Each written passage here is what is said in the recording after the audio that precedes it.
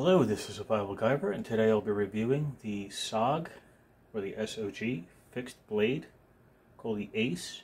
Uh, it's kind of like a field knife, uh, camp knife, survival knife thing. It's uh, one of their budget knives. Um, I like about it, it's got the nice plastic sheath, and it's got a little notch in here for a cord cutter when you put the knife inside. So it gives you a little bit of a cord cutter. Works out pretty well, and it's got an integrated clip. Get a quick look at that here. So, little belt clip on the back. Actually, really, I don't use the belt clip on this, so it's really, really tight.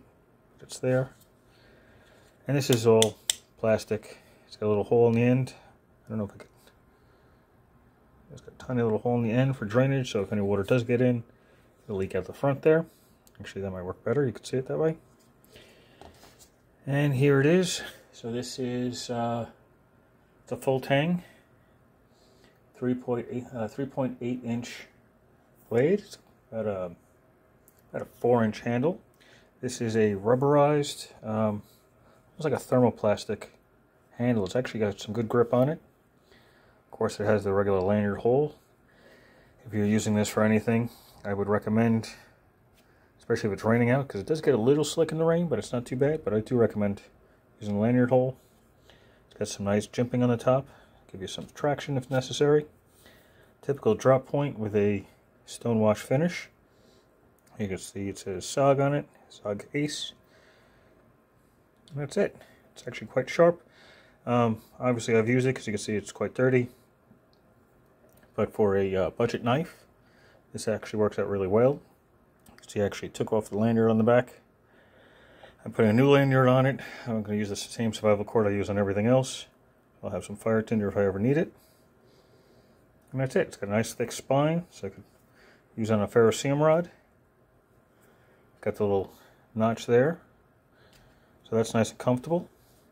Otherwise, the handle is quite comfortable. It's thin. I'm going to, compared to a lot of the other knives I use, this handle is quite thin, but otherwise than that, it's, it's nice. So it still has a good amount of grip, as I said. It's rubber, doesn't make any noise if you hit it with something else It's metal. Great for batoning, great for carving. Uh, great for cutting bagels up if you're, you know, at a campsite making bagel or something there. Or at least I do. Um, but that's it. So this is the SOG Ace.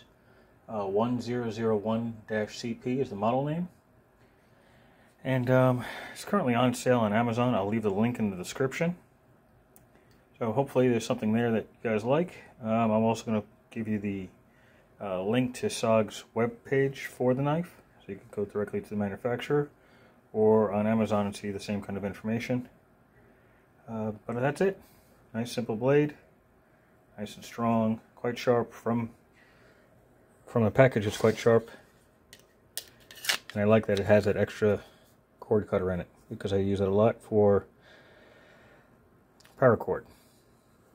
Well, that's it. Thank you for watching.